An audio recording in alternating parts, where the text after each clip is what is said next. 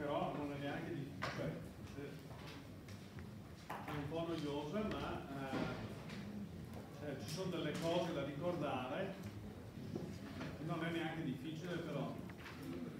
E nella nostra rotazione d'ora in poi noi escluderemo la presenza di ghiaccio che comporta un'ulteriore complicazione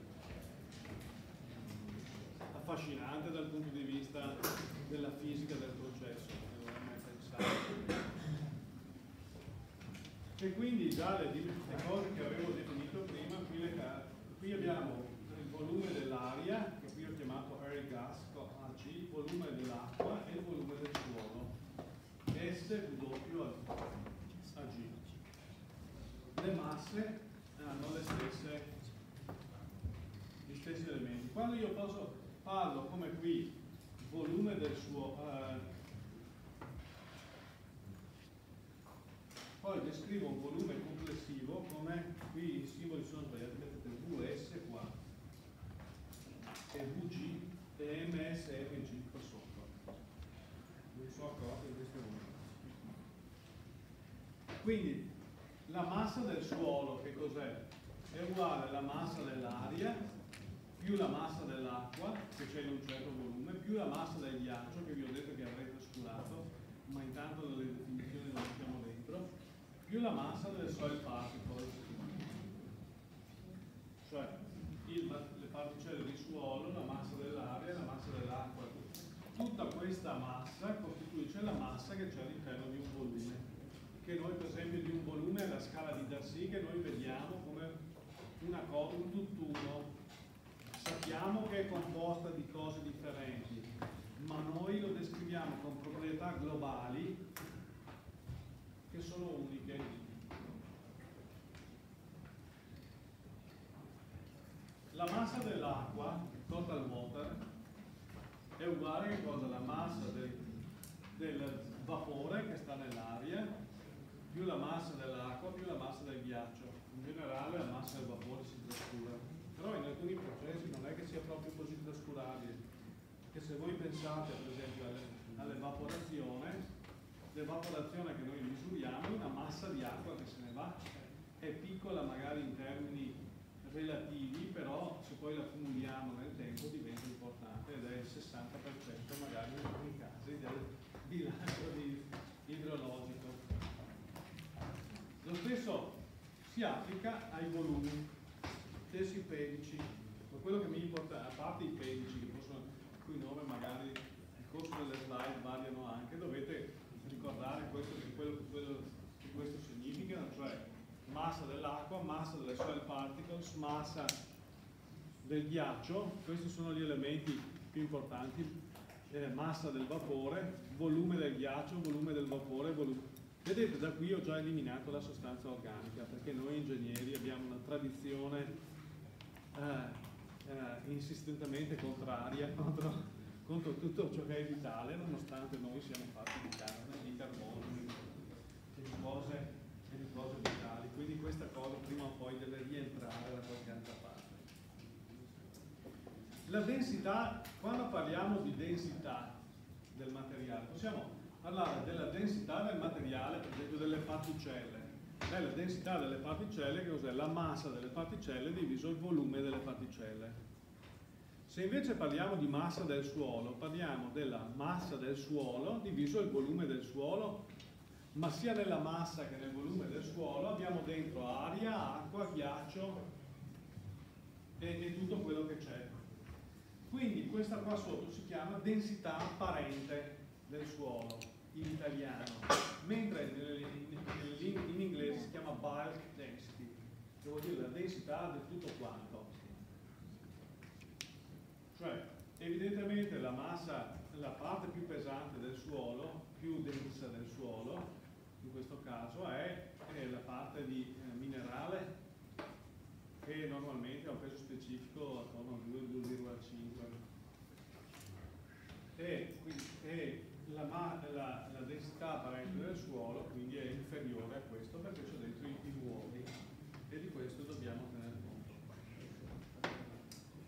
Un'altra semplificazione che si fa quando trattiamo l'acqua nei suoli è quella di definire questa quantità che si chiama uh, contenuto volumetrico adimensionale dell'acqua. Non siamo contenti, non, cioè sarebbe tutto più semplice, forse da un certo punto di vista, se noi ci limitassimo, se la storia fosse fatta in modo che noi in questo momento parlassimo di massa e volume dell'acqua. In realtà nel corso della storia, nel corso delle equazioni che noi andiamo a scrivere, è, tutto è scritto nella forma di variabili diverse, in particolare il contenuto volumetrico di acqua. Qui prendo tutto il volume del suolo e considero, in particolare qui ho, ho chiamato θ 5 per dire condensed water, l'acqua liquida più l'acqua solida, volume del ghiaccio più volume dell'acqua. Questo è il rapporto fra volume e volume, la massa si misura in chilogrammi, il volume in uh, metri cubi e il contenuto d'acqua dimensionale è un volume su volume, quindi adimensionale.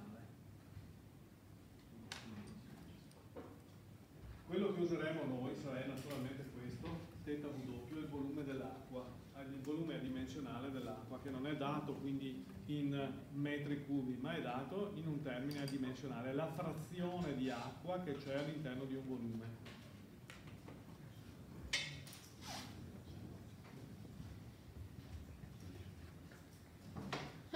Allo stesso modo possiamo definire la frazione di ghiaccio che non cambia, non cambia nulla.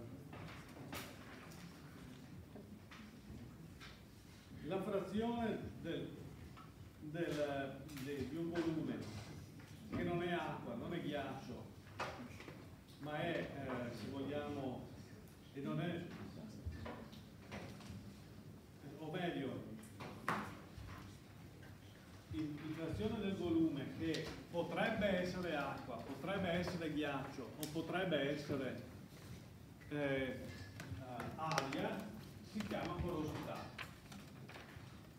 I famosi vuoti di cui ho parlato finora eh, normalmente questi vuoti sono riempiti da qualcosa, questo qualcosa è aria, acqua o ghiaccio. Ci andrebbe di nuovo aggiunta la parte biologica, qualora questa sia importante. E questa si chiama porosità del suolo.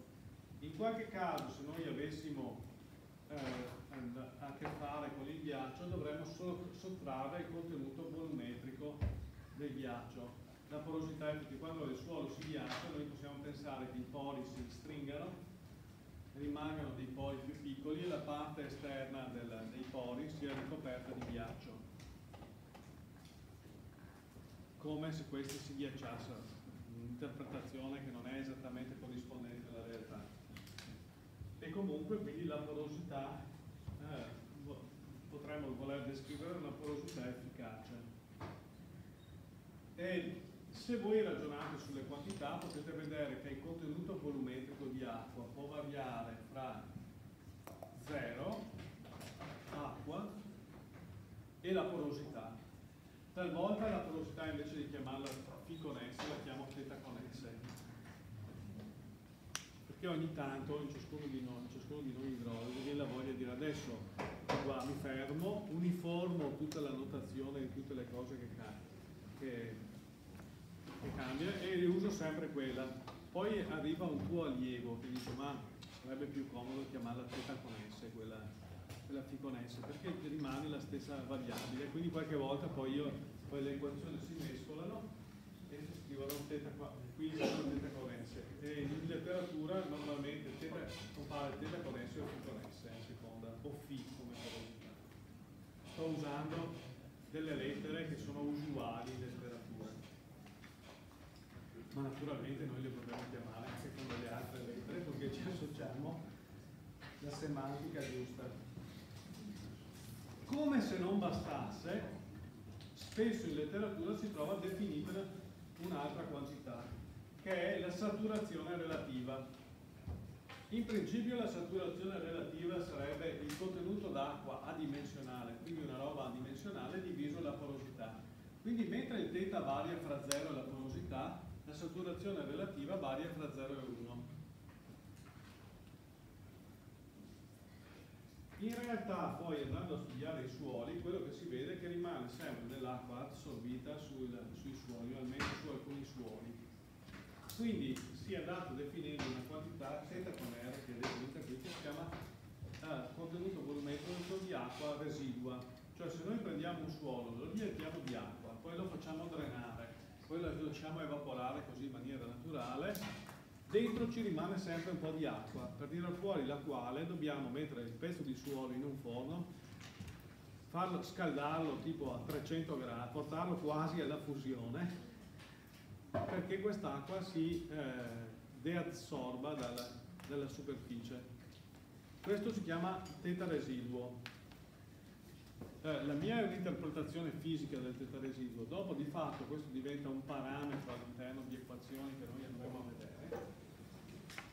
e perde un po' di questo significato, però il concetto è quello. Allora andiamo a, a, a, definire la saturazione effettiva dei suoli che è il contenuto di acqua meno il teta residuo che è quello che comunque non entra mai in circolo perché rimane attaccato al suolo, diviso la porosità efficace meno il teta residuo. Questo più o meno abbiamo tutte le definizioni